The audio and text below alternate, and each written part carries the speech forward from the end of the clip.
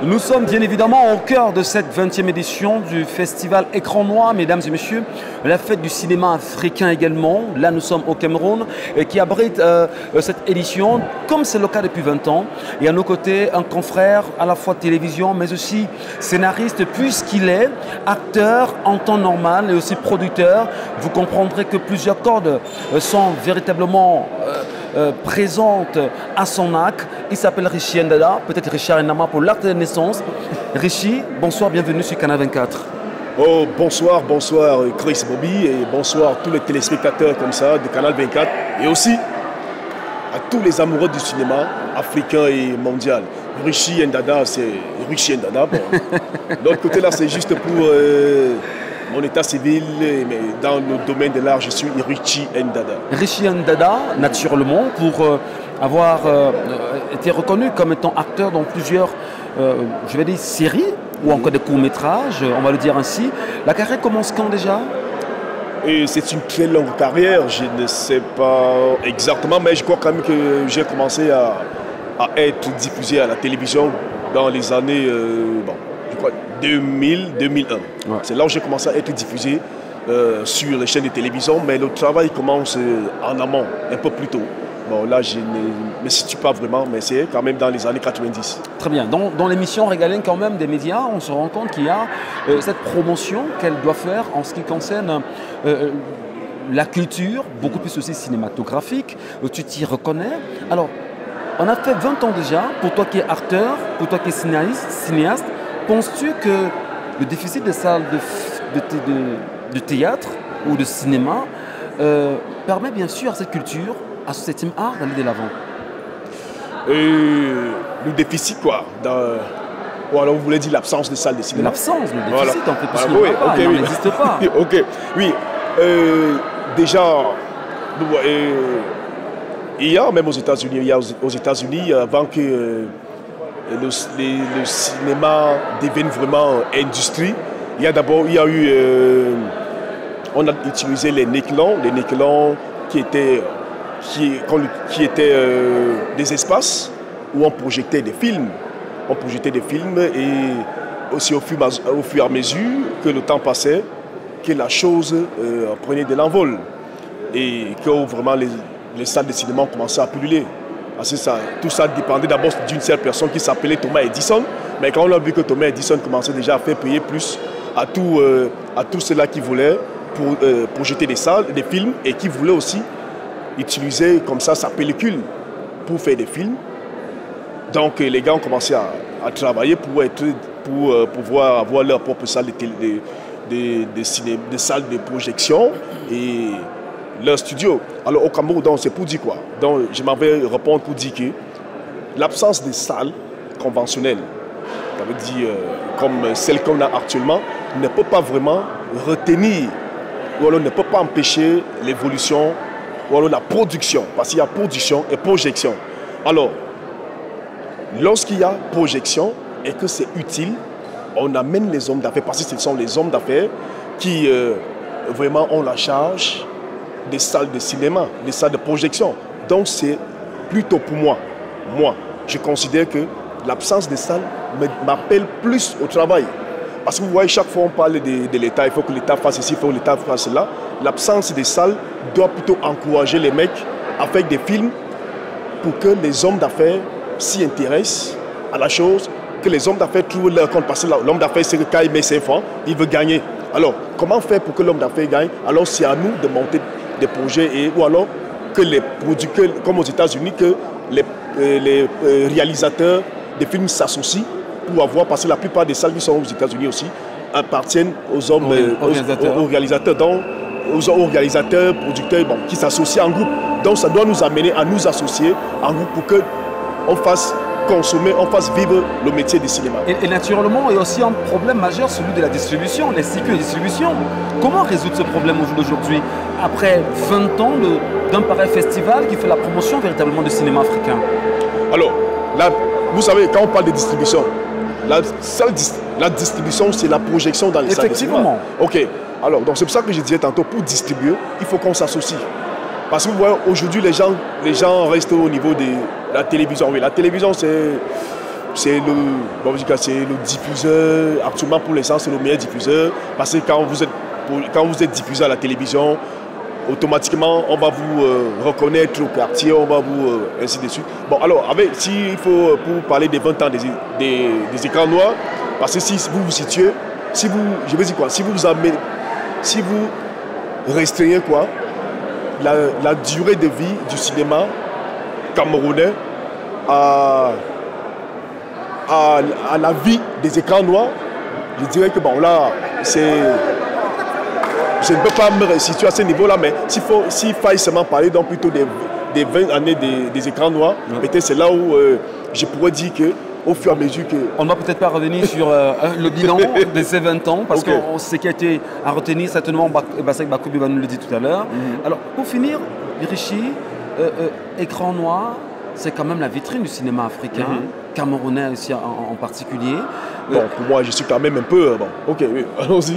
Alors, pourquoi est-ce que vous êtes débutatif Pourquoi? Je suis débutatif, pourquoi? Parce que euh, écran noir, j'aime bien le slogan qui dit euh, les films faits par nous et vus par les nôtres. Alors, aux écrans noirs, regardez, je crois que le slogan là plutôt c'est les, les films faits par nous et vus par nous. Parce que les nôtres ne viennent pas. les, nôtres ne viennent pas pour euh, voir ces films-là ces films que nous faisons. C'est ce d'ailleurs. Vous voyez, non. non, c'est plutôt. Vous allez voir, lorsqu'il y a projection des films dans les salles, aux écrans noirs, c'est plus les réalisateurs qui sont là pour faire. Ils sont là. Donc, au contraire, les écrans noirs, plutôt, moi, j'appellerais des ciné-clubs donc, pourtant, c'est un ciné-club. Oui, c'est un ciné-club. De toutes les façons, c'est pas terminé. On va peut-être le revoir, c'est là. Merci infiniment, Lucie. Tu restes avec nous parce que là, il y a pas mal d'invités qui vont nous retrouver. On va retrouver euh, un, aîné que tu connais très bien. Euh, Dominique Bina, Dragon Scott. Dominique Bina, Dragon Scott. Bonsoir, Dominique. bonsoir. Bienvenue chez nous. Merci. Canal 24 te reçoit. Merci. Certainement. On peut passer le micro de Dragon, le micro Dragon Scott. merci. Oui, merci. Merci. Bien vouloir t'asseoir, euh, Dominique. Présent au cœur de cette 20e édition du festival Écran Noir. C'est quand même la fête du cinéma, euh, euh, je vais dire camerounais, beaucoup plus enfin, en, particulier. Alors, il y a quand même un sentiment qui se dégage chez toi en tant que technicien ce soir. Es-tu satisfait par la qualité du rendu de ce festival, pour cette cérémonie d'ouverture? Cette édition. 20e euh, d'ailleurs. Cette 20e édition. Euh, côté discours, euh, on est assez satisfait parce que là, on a eu, là, on a eu les écrans noirs qui sont devenus maintenant beaucoup plus valorisés par le, gouvernement camerounais. Ça veut dire que reconnu d'utilité publique. Donc, ça veut dire que le Cameroun a décidé finalement d'accorder du crédit à l'art ça fait quand même 20 ans aujourd'hui que euh, M. Bassé Bakobio et euh, Terre africaine ont décidé donc de créer cet événement-là. Aujourd'hui, 20 euh, ans après, le Cameroun reconnaît que cette initiative-là est allouée. Cette initiative permet à beaucoup de Camerounais de rêver. Cette initiative permet à beaucoup de Camerounais d'être formés dans les métiers des arts et de la communication.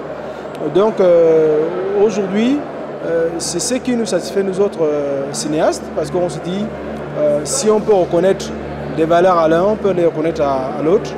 Euh, donc, euh, ce point de vue des discours et tout ce qui est protocolaire, on est satisfait, mais on, est on regrette quand même le fait que la qualité sonore, à l'intérieur, au niveau de la diffusion, que ce soit des, places publicitaires ou bien le film en diffusion actuellement, c'est pas agréable. Ça, c'est pas dû forcément à l'organisation, mais à la technique de la structure qui, qui nous reçoit.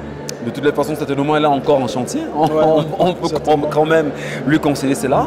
Alors, 20 ans quand même de cinéma, 20 euh, ans de, festival, 20 ans d'écran noir. Euh, on, va quand même comprendre que toi qui es un peu plus présent sur euh, les écrans de télévision avec un film qui depuis un petit moment est en diffusion sur A+, on va dire qu'il y a une nouvelle génération qui croit véritablement au 7e art.